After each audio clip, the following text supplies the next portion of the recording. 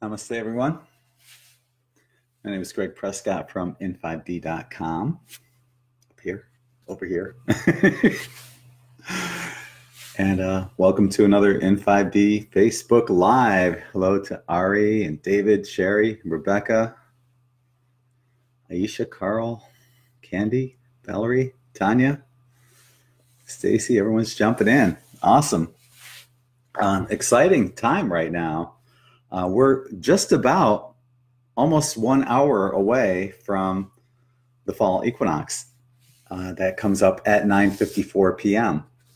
Eastern time. So whatever time it is for you, it's just about one hour away, at least here, you know, for us in you know, the United States, uh, North America. So that's what we're looking at um, in about an hour, almost to the exact time. So a lot of uh, things are associated with the fall equinox, and we'll get into that in a minute. I just want to touch on the Schumann resonance. If any of you guys were awakened around five or six o'clock this morning Eastern time, I guess uh, on the Pacific coast in the United States, um, that would be uh, two to three o'clock in the morning. There was a, a, a large wave that came through last night. So um, if if you felt that today, that's probably why. If you felt it at that time, so let me. Um, I went to a. Uh, it was the Sarasota Mystical Bazaar at the Sarasota Auditorium, and I bought some cool stuff. I want to share the stuff that I bought. Um, I did do a, uh, a live video and I saw this Buddha statue. I didn't get that. But bought a cool incense burner. So I got a little, you know, box to put the incense in. I have like, I don't know, probably 10 incense burners around the house. But this one looked really cool. It's really classy. I like the little case for it. So I got that.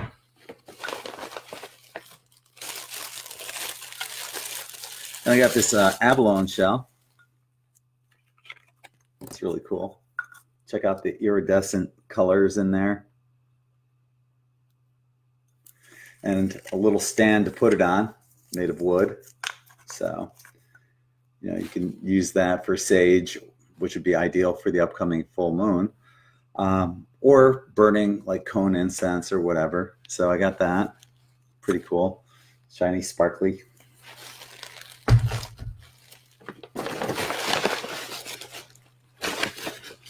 Oh, and I bought these um, crystals, quartz crystals. Um, I often buy these. They're just like little tiny ones.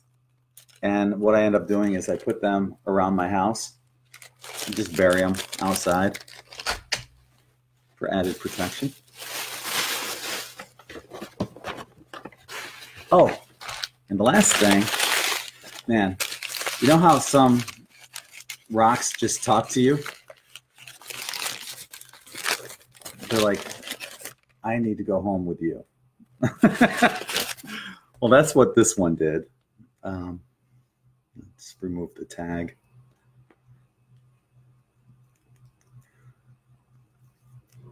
But I saw this one. This was, as a matter of fact, this was right by the Buddha that I was looking at.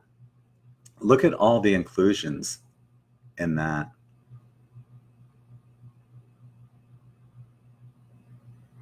Oh, and it's got that window right there. Can you see that window right there? How cool is this? So you got the window with all these inclusions. It's just freaking stunning.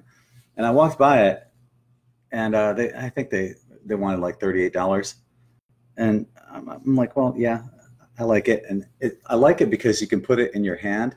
You can just hold on to it like that, and uh, and I like the inclusions because all the inclusions basically tell a story uh, behind it.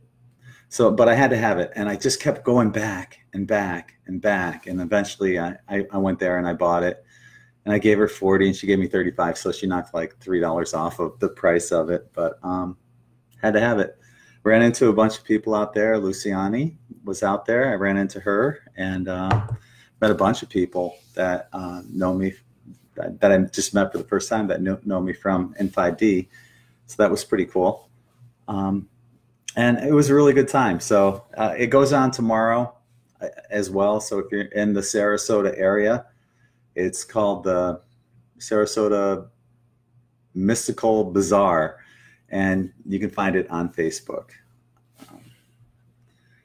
So what next? Oh, uh, I just want to say um, a quick shout out to everyone that's on Patreon. Uh, that's um, following following me there. I'll be coming out with a new video um, this week where I take my Patreon people through a tour of Siesta Key. So that's going to be fun. And uh, just a quick reminder to um, if you're not subscribed to In5D, you can subscribe on every web page on In5D, whether you want the weekly or the daily. That way you're not missing out on anything. Because, like many of you guys know, and what are going through, many of us are shadow banned. So we'll put out articles, and I do that every day. You know that. You know, for years I've been doing this every day, but it just doesn't reach many people. The example I, I use is, you know, I've got over 400,000 followers on the In5D Facebook page, but yet any given article only reaches maybe one to 3,000 of them. That's how bad Facebook suppresses this information. So subscribe. All right.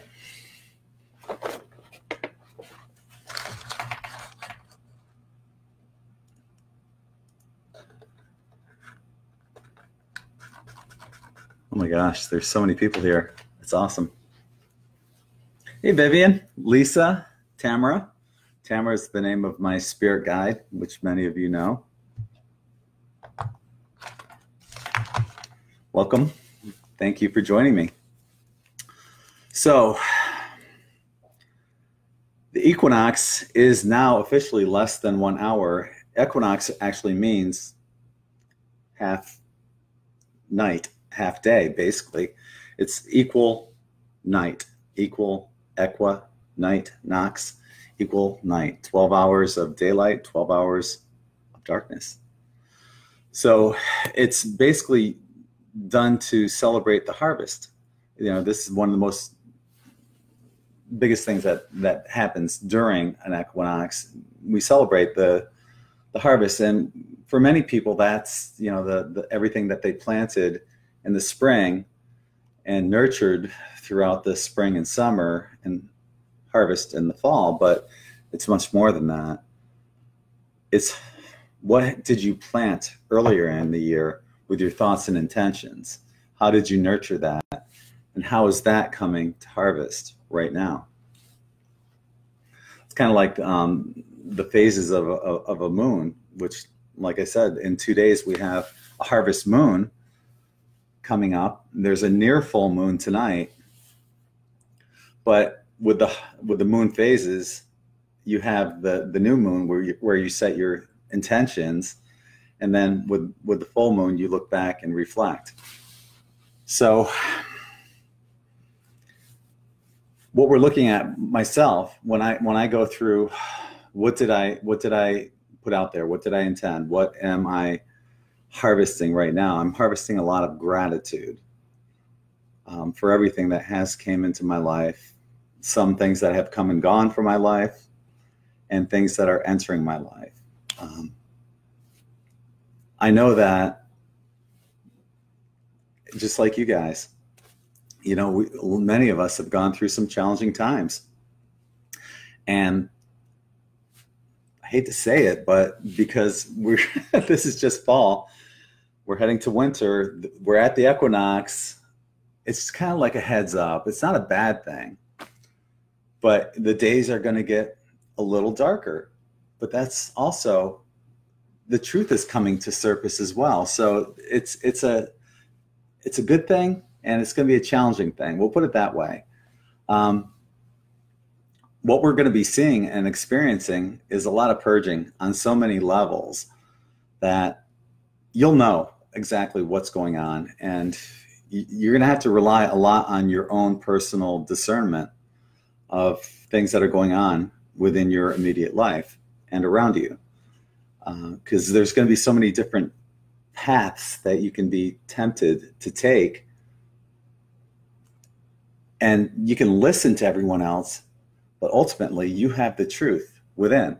So go within for those answers and and take it easy on yourself because like I said, there is going to be a lot of purging going on, a lot of things that are going to be coming up that need to be cleansed and released and transmuted. So don't take it too hard on yourself.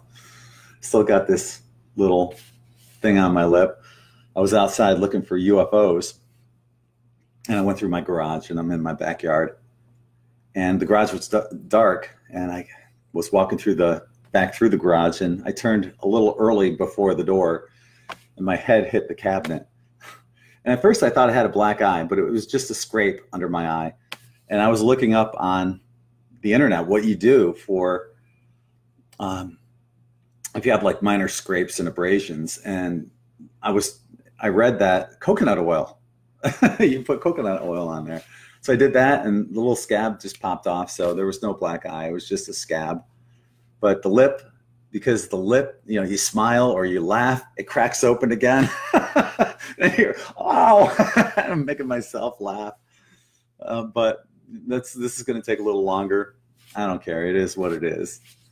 But I'm a little klutzy. Um, I've always been that way, and some people find it endearing, some people don't. I, I learned to live with it, so I'm okay with that. So as I mentioned, what we're what I'm looking at with the equinox is gratitude. And it's so so huge right now to be grateful for everything that's coming into your life and to keep a positive positive attitude about everything um, that we're experiencing right now because like I said, it is a trying time, but despite everything that we're going through, there's so much beauty that's going on. A great example is earlier today, I mentioned this on, on the beach update.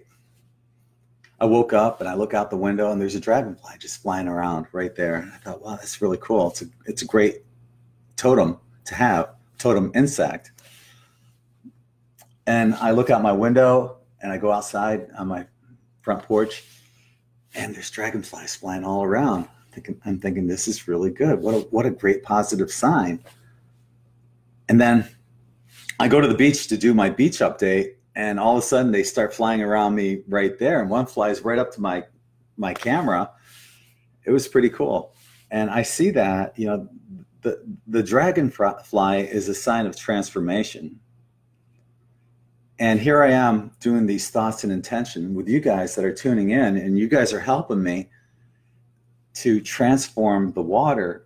But it goes so much deeper than that, especially on the day of the fall equinox, where we're looking at transformations that are way beyond just healing the water. So I saw that as very, very powerful. Um, insect to come to come to me and us to give us that message. I just want to read this. Um, this is what I, I, I, was reading about of the dragonfly. It says the dragonfly totem carries the wisdom of transformation and adaptability in life.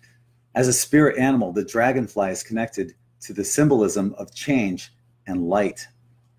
And I'll get into that in a minute about white light. This is really interesting and it's happening to other people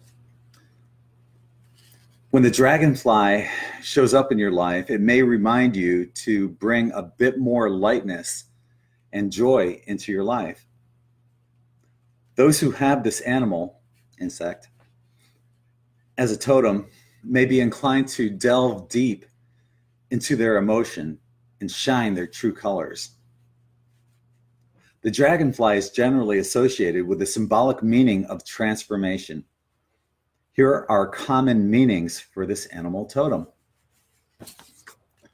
Change and transformation, adaptability, joy, lightness of being, light body.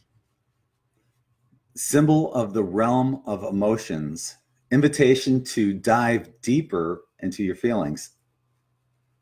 being on the lookout for illusions and deceits, whether they are external or personal, and a connection with nature's spirits, fairies, well, I'm sorry, spirits and uh, spirits and fairy realms.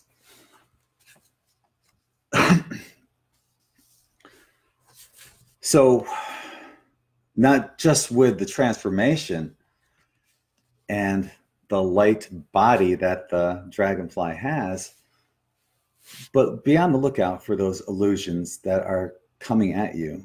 Um, and once again, use your own discernment, go within. Um, listen to your higher self, to yourself first and foremost, before you listen to anybody else. Everyone's got a message, but listen to your message first. and you know what I do, I, I love listening to everyone's messages. Uh, I love hearing about dates of the event. Carrie, uh, at least uh, Carrie Ann Sanders, I, I, just met with her and did a beach, um, a beach update with her, and she has a date for the event, and she said it's October sixth through the seventeenth, eleven days where this the event happens. This plasma, this white light plasma, just comes in and floods the planet and I always take that with a grain of salt because I've seen so many dates come and go. But you know what? I listen and I put it out there. And if it happens, great. And if it doesn't, well, maybe it'll happen soon or sometime afterwards. I'm not, it's not going to depress me because I know it's going to happen. I've seen it, I felt it. It's going to happen. I just don't know when. My guides won't tell me. I think it's because every millisecond timelines are changing. Every thought and, and intention changes the timelines. So that's as far as I can get on that.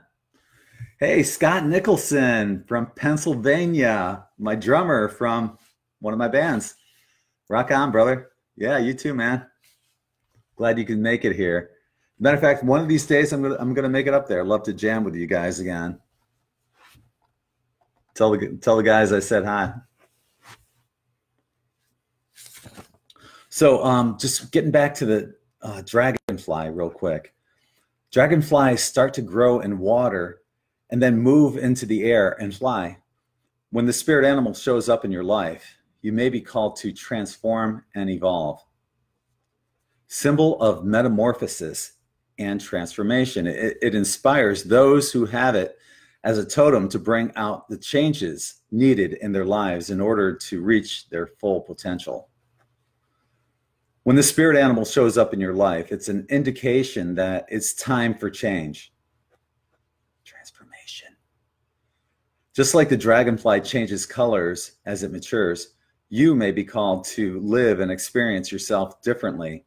Stay open to the unfoldment of your personal journey.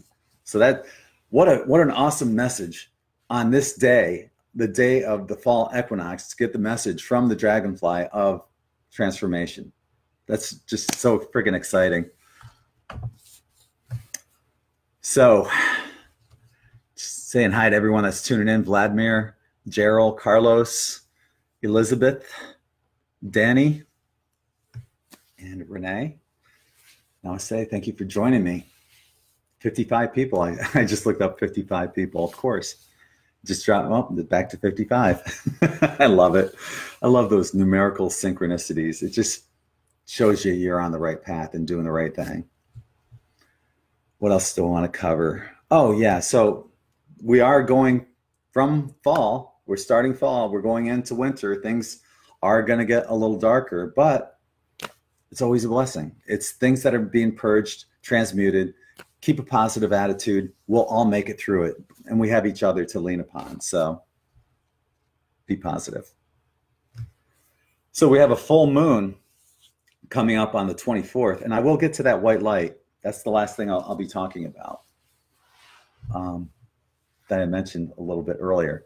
But we have a full moon on the 24th. And that usually a full moon means, you know, you, you end up doing a lot of purging, a lot of cleansing. So it's so appropriate that we have this uh, harvest full moon happening right now, as many people are purging and cleansing various things within their their lives. And uh, I feel for you because myself included. I'm going through that too. Um, you know, I, I always try to keep positive about things, you know, and I've been called Pollyanna at times because I'm too positive. If that's such a thing, I don't think it's possible. but, you know, to, to me, the glass is perpetually half full. It could be a little under the half full line, but it's still half full. it's just the way I am. And I don't want to change that, that part of me. So, what a full moon does it it brings light to darkness and especially during this this harvest that we're going through the full moon harvest and reflecting back on what what intentions you put out there and how they have grown. And was there anything that came that did not come to fruition? Um, were there things that you felt maybe were you were disappointed about? And why? You know you got we're always looking at the meaning and the message behind all this you know everything that comes into my life i'm always thinking okay why why did that cup just blow across the street in front of me you know as, as i pick it up and throw it out, throw it out whatever you know little things like that you're always looking at the message that's behind that so dig deep because you're always getting symbols and messages and clues, whether it's you know a bird, an insect, an animal coming in front of you, something in your dreams, you know, hearing a random song. Uh, if a song just pops into your head, it didn't just pop into it. There's been so many times where I've heard songs. You know, most of you guys know that I, I used to play lead and rhythm guitar in several hard rock bands. That's the kind of music I listen to, hard rock. All of a sudden, I might hear this like mushy song from the 70s that I haven't heard since the 70s. but there's some kind of message in it. So listen to it, uh, figure out what the message is. And, uh, you know, I, I, forgot the song I, I, I posted recent. Oh, uh, Tesla. Um, Love will find a way.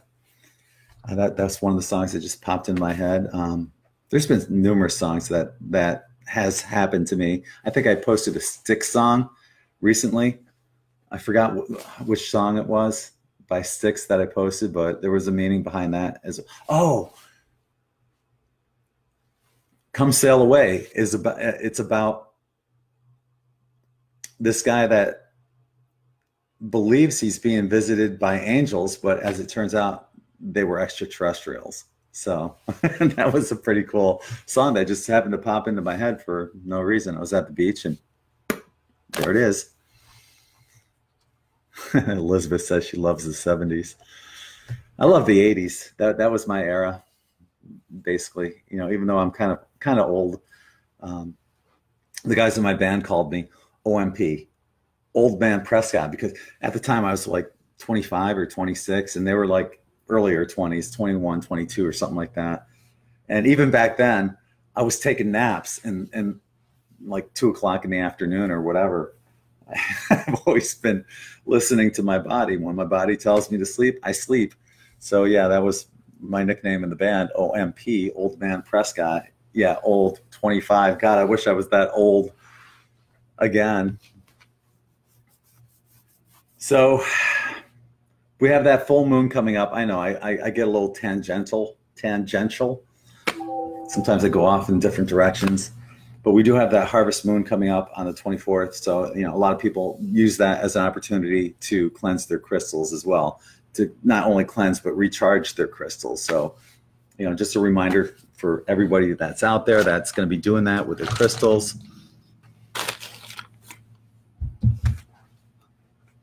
there it is for you guys coming in late this is one one of the ones i got uh, today at that mystical bazaar and there's that that window I was telling you about. There's a little window on it, right?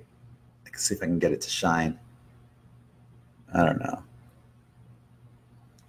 Yeah, it's right above my finger anyway. It's a little window right there. But all the inclusions on it are like freaking cool. I had to buy it. I keep a crystal ball. I have a little crystal ball that sometimes I'll, I'll put in my hand and it's it's it's in my bedroom, and I'll sometimes fall asleep with it in one of my hands, one hand or the other, just for the heck of it. So, last thing I want to talk about I've talked to other people about this. I've had it happen in the past, but not as much as what is happening now, and not as bright and as long either. What I'm seeing is I'm getting these flashes of white light on the side and my peripheral vision. And it's not just like a, it's like it'll hang out there and then it's, it's staying longer than just a flash. Does that make sense? Uh, other people are experiencing this too. And it, it's, it's white light. That's just, it's there. And it happens when you're just like really relaxed. Um, every every time it's happened when I'm almost into that alpha state, that meditation state. Um, and I, it might just be you might be like watching a video or something like that because that puts you in, into that kind of like uh, kind of and you know most of the videos I watch are all metaphysical you know so but are you guys seeing that catching the white light it's it's happening more and more and it's lasting longer and longer it's just really fun phenomenon to partake in. And it just happened to me, I don't know, maybe 20 minutes before I came on. I had this and it was it was it wasn't like a tiny little it was like that big and just like bam so are you guys seeing that are you guys catching it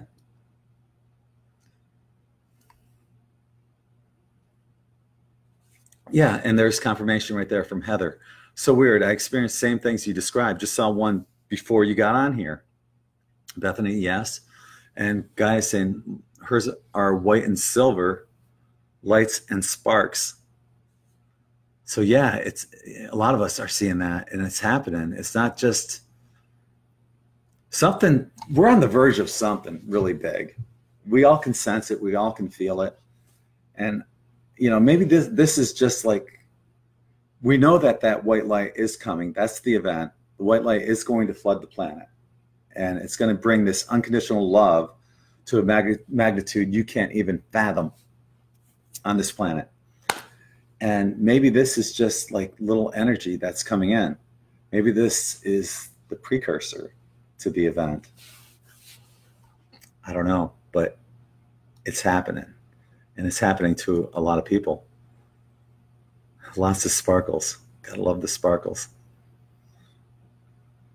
Shafts of light in Barbara Taylor's home. Orbs, so much stuff. Nice. Lisa's saying, oh, yes, seeing the same every day. Sometimes purple or blue. Sweet. yeah, something big is happening. We're on that precipice right now. So what I'm going to do, it's 919, so we're about half an hour away from the equinox. And I'll be doing a um, an afterthoughts video for my Patreon, Patreon followers um, on this about what I've uh, experienced for the equinox and what I did and all that fun stuff. And, but I want I hope you guys have an amazing equinox um, and and just keep flooding the planet with love and light and gratitude because there can't be too much of that. So I'm sending you all infinite love and light. My name's Gregg from in5d.com. Namaste. Love you all.